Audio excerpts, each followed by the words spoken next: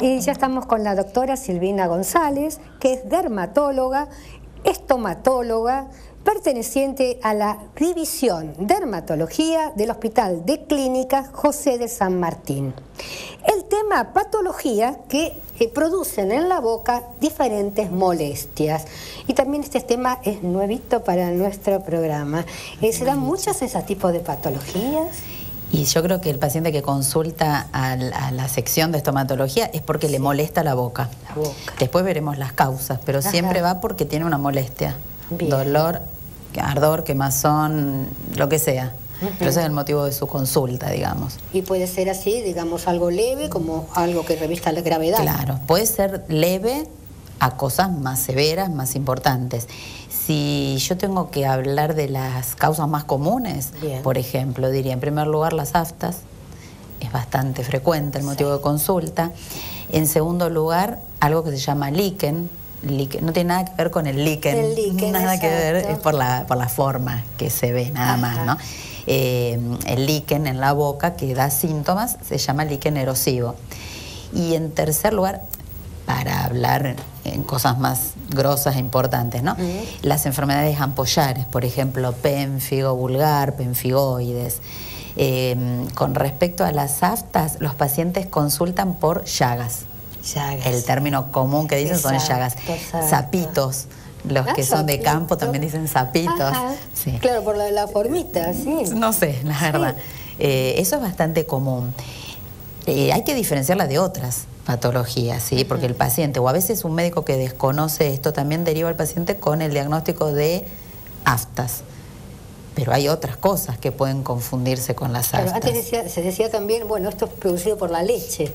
Nada que ver. Claro. Claro, nada que ver. Muchas veces los pacientes me dicen, y yo no tomo leche y me siguen saliendo. Nada que ver. Esto es una enfermedad genética, digamos así. Muchas veces hay antecedentes familiares, algún familiar también con aftas. Una prima durante el embarazo tuvo aftas. A lo mejor estaba anémica. Lo importante, ahora que nombro eso, es que hay que tener en cuenta causas para descartar. Por ejemplo, una persona con aftas hay que pedirle siempre una rutina de análisis para ver si no está anémico, si no tiene baja la vitamina B12, el ácido fólico, si no tiene alguna tiroidopatía. actualmente pedimos también para enfermedad celíaca. Entonces uno va pidiendo todo esto para descartar cosas. En los chicos también parasitosis intestinales se puede ver. Con todo esto, una vez hecho y descartado, bueno, consideramos que esa persona tiene lo que llamamos estomatitis aftosa recurrente, las aftas comunes, ¿sí? Características empiezan a temprana edad, chiquitos, adolescentes, tenemos que dudar de este diagnóstico si viene una persona de más de 30, 40 años que empiece con aftas. Ahí sí voy a pensar en algunas de estas otras causas, ¿no? Otro punto importante, no tiene compromiso sistémico. Las aftas son absolutamente locales. No va a tener ninguna otra cosa acompañada. Eh, puede tener fiebre, pero porque por ahí se sobreinfectan las mismas lesiones, pero no se va acompañada de ningún otro síntoma. ¿Y puede repetir? Claro, se llama estomatitis aftosa recurrente, o sea, se repite, se repite, cada tanto se repite. ¿Puede ser que bajen las defensas orgánicas y afloren las aftas El estrés, digo yo, más que nada. El estrés causa número uno, pueden aparecer por eso. Los que dejan de fumar también, no es cuestión de que vuelvan a fumar para no tener aftas, porque hay tratamiento. Pero el cigarrillo también, porque el cigarrillo como eh, mecanismo de defensa la mucosa se hace más gruesa. Y en una mucosa más gruesa no salen las aftas. Entonces el que deja de fumar, la mucosa vuelve a hacerse más, más finita, digamos, y le pueden volver a salir las aftas. Y Silvina, eh, ¿alguna enfermedad que ataque eh, preferentemente la lengua existe? Y bueno, es que todas estas comprometen... comprometen la lengua. Eh, claro, toda la mucosa. En realidad la mucosa oral eh, se puede ver comprometida, algunas más, algunas menos, pero, pero todas las partes. Eh, hablando del otro tema, de este líquen, también tiene compromiso, no sé si lo van a ver en las fotos, también da compromiso de lengua y ahí el paciente también va a consultar porque tiene mucho dolor, no puede comer está con muchísimo dolor.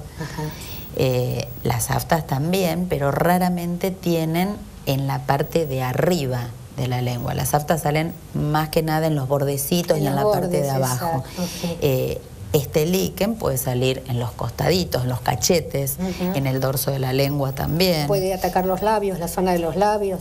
Las aftas no, llegan a lo rojo, quedan en mucosa, no en lo rojo.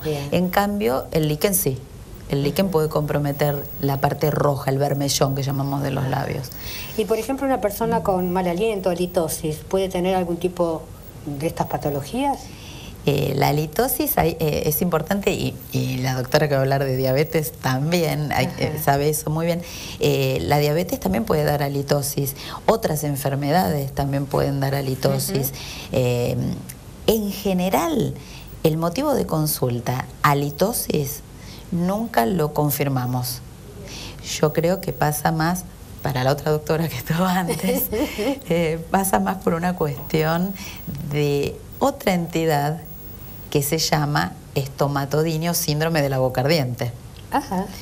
Eh, es un síntoma que tiene el paciente, pero no es objetivable. Uno está revisándole la boca al paciente y no le siente olor. Los que tienen halitosis tienen la boca perfectamente limpia, los dientes perfectos, tienen siempre controles con su odontólogo, claro, pero se siente, claro, y uno está poniendo la nariz encima y no le siente olor. Eh, entonces ahí, por supuesto, hacemos una interconsulta con otorrino porque a veces puede haber alguna sinusitis crónica que puede colaborar, eh, los que hacen dietas prolongadas también, eh, los que consumen muchos lácteos. Los lácteos, el metabolismo de los lácteos también puede dar feo olor. O los que consumen edulcorantes. Esas son otras cosas ¿no? que ayudan descartando todo eso y descartando obviamente otras enfermedades, cuando uno va haciendo la historia clínica, descarta otras enfermedades también, ahí consideramos este otro punto que dije, que es otro motivo de consulta, eh, que es el síndrome de la boca ardiente. En el síndrome de la boca ardiente, como su nombre lo indica, el ardor es lo que predomina. Pero es ardor más otras cosas por ejemplo, una de ellas, el mal aliento, sumado, bueno, a otras cosas más, ¿no? Y, por ejemplo, eh, ¿problemas hepáticos pueden traer halitosis? Es muy raro, es, muy raro. Y las llamadas antiguamente se decían, tiene boqueras a repetición. Bueno, pero eso es un herpes, en realidad. Claro, claro, Es que es, muy habitual de confundirse aftas con herpes. El herpes puede salir adentro de la boca, pero sale en los labios, en, la piel, en la cola, en cualquier lado. Esas son las boqueras, ¿sí? Y muchas veces hay médicos, bueno, que no se dedican a, la patología oral, que pueden confundir eso, el, herpes común, el herpes simple, con las aftas. Clínicamente se las ve muy parecidas, pero no tienen nada que ver una ¿Y cuáles son las enfermedades graves? Porque esto, digamos, entra dentro de lo leve, ¿no? Digamos. Ajá digamos, bueno, la enfermedad ampollar que mencioné también, que es sumamente dolorosa, incluye penfigo vulgar, penfigoides, son enfermedades autoinmunes. Actualmente se las puede controlar eh, desde que apareció la, corticoterapia, ¿sí? el corticoide salva la vida. ¿sí? Eh, los pacientes se quejan porque, bueno, cara de luna, se pero es a costa, a costa de eso, pero eh, salvan la vida, ¿sí? Porque estas son enfermedades que pueden llevar a la muerte el paciente. Yo estoy hablando del compromiso oral, pero esta es una enfermedad mucocutánea faneral. ¿Qué quiere decir? Que compromete mucosas, piel, cuero cabelludo, uñas. Eh, cuando hay un compromiso tan importante, son como grandes quemados. Entonces su vida está en peligro también. Por eso vamos de cosas, bueno, más leves a cosas más importantes, inclusive, a ver, lo más importante, carcinoma de boca. Sí.